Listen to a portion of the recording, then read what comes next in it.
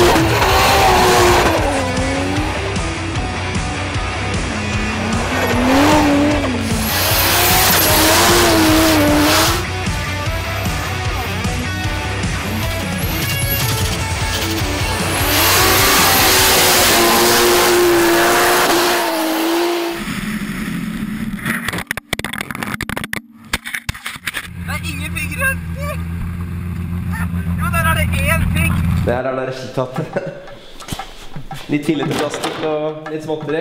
Motoren lekker mye olje. Vi har brukt tre liter olje på den lille kjøringa vi har gjort. Eh, Vi har brukt opp et sett med bakhjul. Det er ingen pigger igjen. Det er én pigg igjen. Der. Jo da, én pigg igjen der. Det er helt sant. Vi har vært så heldige å få til å ha bilen inne hos Odd Helge. Og han har en åker bak eh, garasjen her, så vi skal teste den litt der. Han har brøyta en bane. Så vi gleder oss til å bruke den opp litt til der.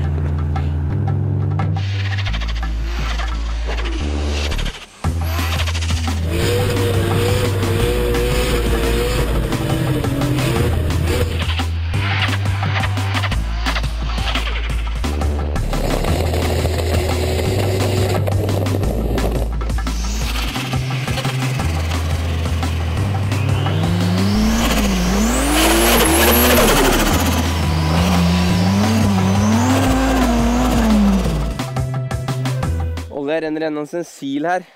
Det er et sted det lekker. Så jeg tror vi gir oss før vi raser. Ikke det lurt?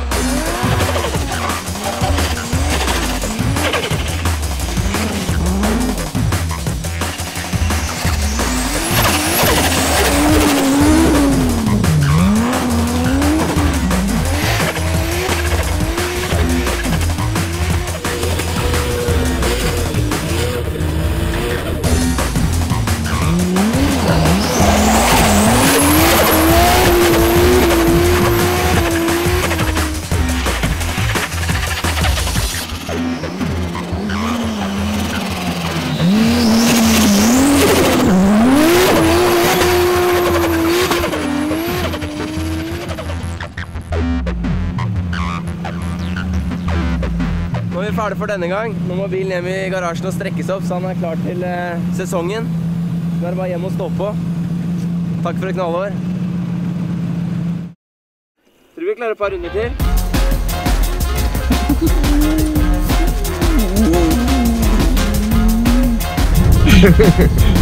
Hva?